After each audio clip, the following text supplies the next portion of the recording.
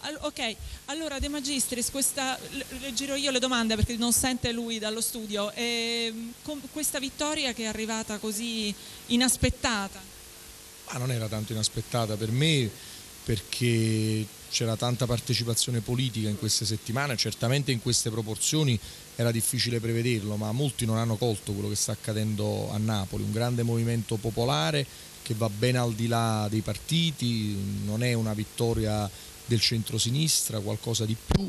Ovviamente bisogna poi saper cogliere questi messaggi che non sono messaggi di antipolitica ma di voglia di fare politica e soprattutto i tantissimi giovani che mi hanno accompagnato in questa campagna elettorale. Ma terrà lontani i partiti dalla sua giunta? Ma i partiti non è che sono una maledizione, i partiti fanno parte della democrazia, debbono dare il loro contributo, verranno ascoltati e credo che hanno capito quello che è il messaggio di Napoli, quindi ascolterò loro ma ascolterò molto tutte le forze sane e produttive e democratiche di questa città, la giunta poi sarà scelta da me nella massima autonomia, puntando su donne e uomini oneste, competenti, credibili e coraggiose.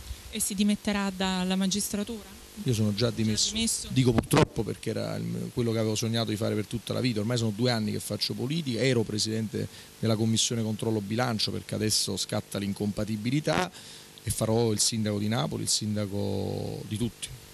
A tempo pieno, avete delle domande dallo studio? Sì, mi senti? Sì. E possiamo chiedere allora sì, De Magistris sì.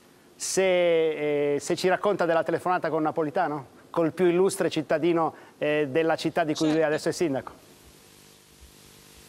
Naturalmente è rimbalzata la notizia della telefonata che ha ricevuto da Napolitano e quindi che, che cosa le ha detto?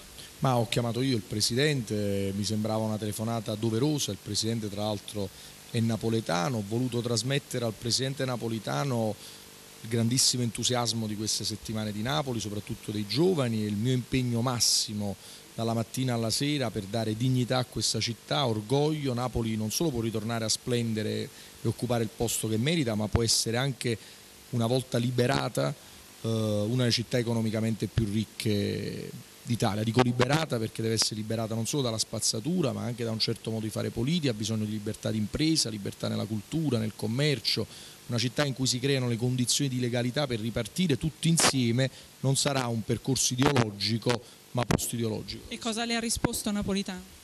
Ma è stato contento della telefonata, mi ha fatto i complimenti per il risultato, gli auguri e mi ha detto dire, che lui, lui, da napoletano guarderà con molta attenzione quello che accadrà e ha detto che fare il sindaco è una delle cose più difficili che ci possa stare. Ho detto non mi spaventa, sono pronto a partire. E questa sera c'è la festa in piazza, piazza Municipio? Sì, da domani mattina si inizia a lavorare, perché, ma stasera ci godiamo una grande festa a piazza Municipio perché i protagonisti di questa vittoria sono i cittadini napoletani che hanno scritto una pagina storica, una rivoluzione pacifica e quindi meritano di essere coinvolti in questa giornata. Tensioni secondo lei ce ne saranno altre questi giorni sul voto? Ci sono state tante polemiche? Ma mi auguro veramente di no. Io ho mandato anche un messaggio all'opposizione che io voglio lavorare anche con un'opposizione costruttiva e un invito che ho fatto anche ai consigli del PDL di abbandonare il metodo boffo perché non merita, è stato anche utilizzato in questi giorni, credo che insieme bisogna costruire Napoli, chi è sindaco si assume le responsabilità con la sua maggioranza, l'opposizione fa l'opposizione,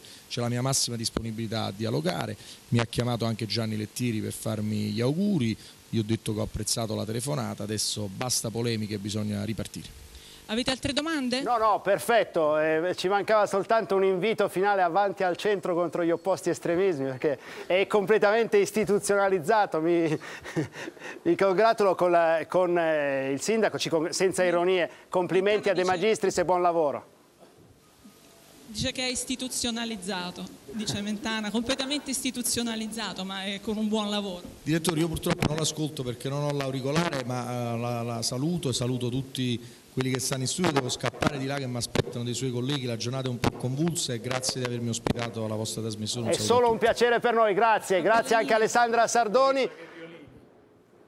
Ecco, eh, Quagliariello.